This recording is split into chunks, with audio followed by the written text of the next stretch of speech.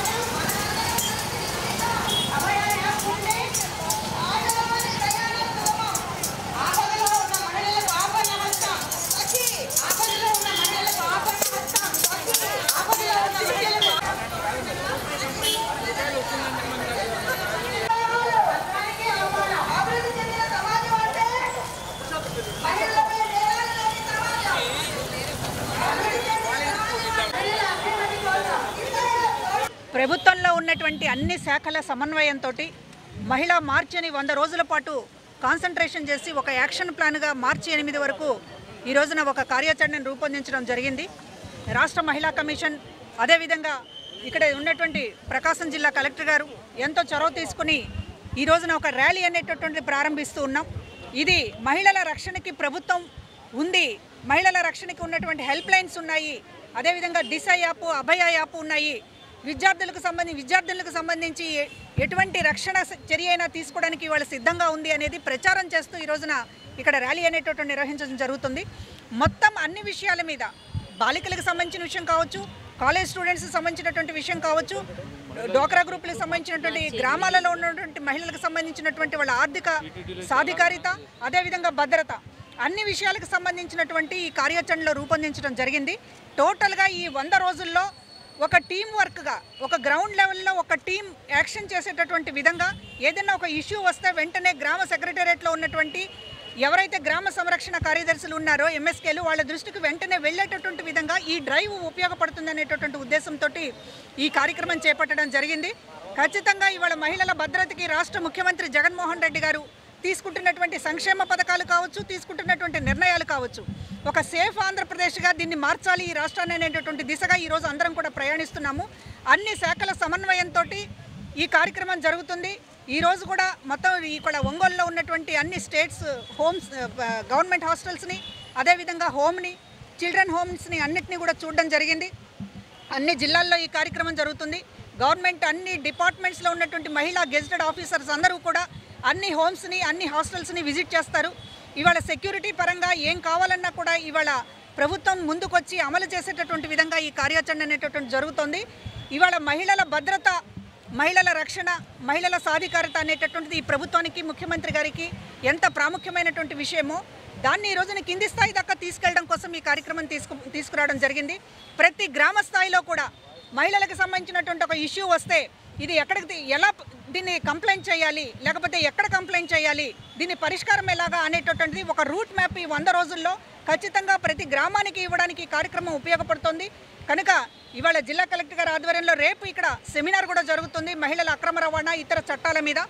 అదేవిధంగా సాయంత్రం చీరాలలో విక్టిమ్స్ ఎవరైతే ఉన్నారో వాళ్ళకి సంబంధించినటువంటి వాళ్ళతో కూడా ఒక సమావేశం అనేటటువంటి జరుగుతుంది. కనుక ఈ మొత్తం అన్ని జిల్లాలలో జరుగుతున్నటువంటి ఈ కార్యక్రమాన్ని మొట్టమొదటగా ప్రకాశం జిల్లాలో ప్రారంభించాం. ఈ వంద రోజుల ప్రోగ్రాం అనేటటువంటిది ముఖ్యమంత్రి గారు ప్రారంభించిన తర్వాత జిల్లాల విజిట్గా ఇవాళ ప్రకాశం జిల్లాలో ఈ కార్యక్రమాన్ని ప్రారంభించాం. ప్రతి జిల్లాకు మహిళా కమిషన్గా మేము వెళ్తాము. ఆ తర్వాత జిల్లా కలెక్టర్ గారు ఇతర ప్రభుత్వ శాఖల అధికారులందరూ కూడా ఈ వంద రోజుల కార్యక్రమాన్ని నిర్వహిస్తారనేటటువంటి తెలియజేస్తూ ఉన్నా నమస్కారాలు తెలియజేస్తున్నా. రాష్ట్ర ప్రభుత్వం మహిళల రక్షణ అట్లాగే భద్రతా విషయంలో చేసేటువంటి అన్ని కార్యక్రమాలని వాళ్ళ చేరువకు చేసే విధంగా తొంభై రోజుల కార్యక్రమాన్ని అంటే వచ్చే మార్చి ఎనిమిది అంతర్జాతీయ మహిళా దినోత్సవం వరకు అమలు చేయమని చెప్పి ఇచ్చినటువంటి మార్గదర్శకాలకు అనుగుణంగా ప్రకాశం జిల్లాలో మనం ఈ కార్యక్రమాలని ప్లాన్ చేసి అమలు చేయడానికి చర్యలు తీసుకుంటున్నాం. ఆ క్రమంలో మరి మహిళా కమిషన్ చైర్పర్సన్ గారు శ్రీమతి వాసిరెడ్డి పద్మ గారు మొదటగా మన జిల్లాకు రావడం సంతోషం. గతంలో కూడా మనము ఇలాంటి ఒక కార్యక్రమాన్ని ఏర్పాటు చేశాం. మరి ముఖ్యంగా సమాజంలో సగభాగమైనటువంటి మహిళలకు సంబంధించినటువంటి ఎన్నో చట్టాలు ప్రభుత్వాలు రూపొందించి అమలు చేస్తున్నప్పటికీ వాటి పట్ల క్షేత్రస్థాయిలో సరైనటువంటి అవగాహన లేకపోవడం అట్లాగే ఎన్ఫోర్స్మెంట్ ఎవరైతే చేయాలో వాళ్ళు కూడా సెన్సిటివ్గా బిహేవ్ చేయకపోవడం ఈ కారణాల చేత ఆశించిన మేర ఫలితాలు మనం రాలేదని చెప్పి భావిస్తున్నాం. ఆ క్రమంలో ఈ తొంభై రోజుల పాటు జిల్లాలో మరి ఒకవైపు ఎన్ఫోర్స్మెంట్లో ఇన్వాల్వ్మెంట్ ఉన్నటువంటి అన్ని శాఖల అధికారుల్ని మరోవైపు మహిళల్ని అందరినీ కూడా మరి ఈ కా ఈ చట్టాల పట్ల మరి ప్రభుత్వం తీసుకునేటువంటి అనేక రక్షణ కార్యక్రమాల పట్ల భద్రత పట్ల సాధికారత కార్యక్రమాల పట్ల అవగాహన కల్పించాలని చెప్పి ప్లాన్ చేశాం. దాంట్లో నాందిగా ఈరోజు ఒక ఒక ర్యాలీని నిర్వహిస్తున్నాం. రేపు ఇందాక మేడం గారు చెప్పినట్టు మరి ముఖ్యంగా మండలాన్ని యూనిట్గా తీసుకొని ఆ మండల్లో లేదా మండలము లేదా ఒక అర్బన్ లోకల్ బాడీ పట్టణాన్ని యూనిట్గా తీసుకొని మనము గ్రామ సచివాలయం లేదా మరి వార్డు సచివాలయం వరకు ఈ కార్యక్రమాన్ని తీసుకునే విధంగా ప్లాన్ చేస్తున్నాం. ఆ రకంగా మండల స్థాయిలో అట్లాగే యుఎల్బి స్థాయిలో మనము ఈ కార్యక్రమాన్ని తొంభై రోజుల పాటు నిర్వహించడానికి ఒక టాస్క్ ఫోర్స్ను నియమించాం. ఆ టాస్క్ ఫోర్సు ఎవరైతే మండల స్థాయిలో లేదా అర్బన్ లోకల్ బాడీ స్థాయిలో పనిచేయాలో వాళ్ళందరికీ కూడా రేపు ఒక ఓరియంటేషన్ ఏర్పాటు చేశాం. ఈ ఓరియంటేషన్ సంబంధించి మరి ఇనాగరల్ అడ్రస్ చేయడానికి మరి చైర్పర్సన్ మహిళా కమిషన్ వారు ఇచ్చేస్తారు రేపు పాల్గొంటారు.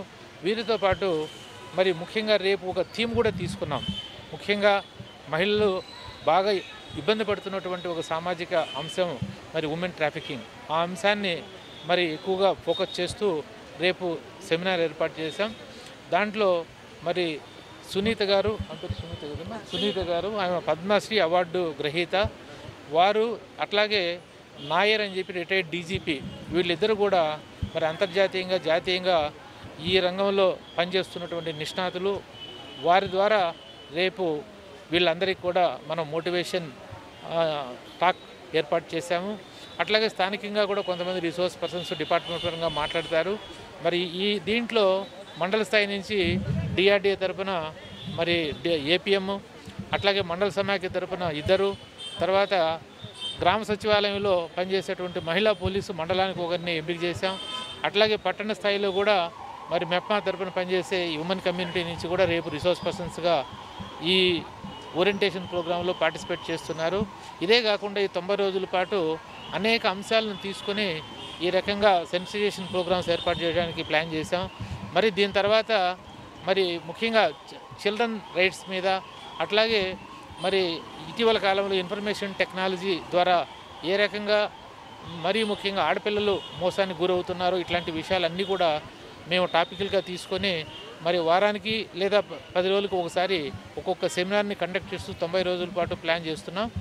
అట్లాగే మరి ఈ ముఖ్యంగా ఉమెన్కి సంబంధించినటువంటి చట్టాలు చిన్నపిల్లలకు సంబంధించినటువంటి చట్టాలు ఏవైతే ఉన్నాయో వాటన్నిటిని కూడా ఈ సందర్భంగా అవగాహన కల్పించే కార్యక్రమాన్ని కూడా చేసుకున్నాం.